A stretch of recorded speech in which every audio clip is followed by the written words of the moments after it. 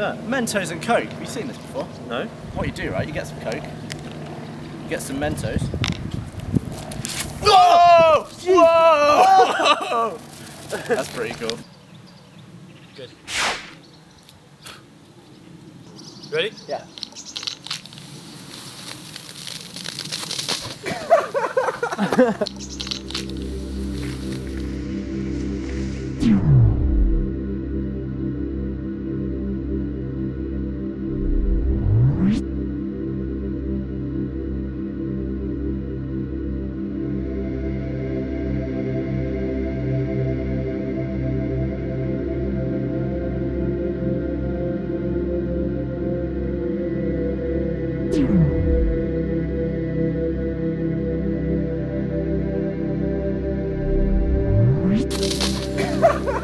That looked good. I liked your gnarly flip through that stream of Coke. Yeah. I want to give that a go. I think we should do one at the same time. Both of us. But who the hell's going to put the Mentos in the bottle? Oh. Hello. All right, this is Georgia. What is your channel called? Uh, GB Film Productions. GB Film Productions. Okay, everyone should check that out. Yeah. There's some short films. They're cool. And uh, have you ever put Mentos in a Coke bottle before? Never. I've never done that before. What's your approach going to be? Like, what are you going to... you got to get as many in as possible. Yeah, I'm just gonna try and flood it all in there and see how high it can go. Yeah. There's a lot of technique to this, you know. Yeah? So yeah, I've, I've been doing it for a few years now. So uh, Practicing. Yeah. yeah. This is going to be mega wide. Yeah. Do you want to have it with you? Right. So have your funnel ready. Yeah, is the funnel good? Yeah. Yeah. Ready? Yep. Yeah. Right. Stop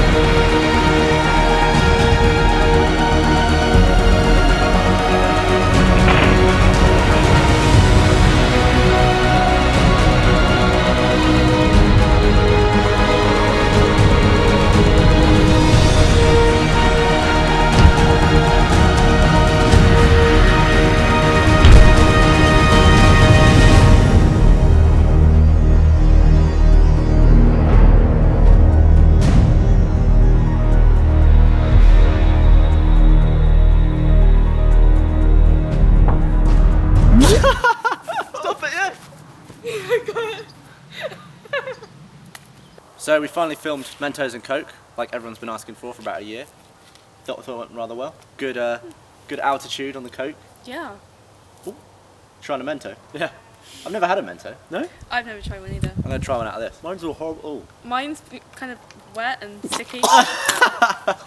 You trying to you trying to get one from the bottom? It went down my throat. Oh. Like, oh. I think I think putting them in Diet Coke is actually what they were designed for. Yeah, That's I think thoroughly that's good use. They it's the most efficient uh, use. They weren't designed for uh, consumption. I don't think. See you in the next one.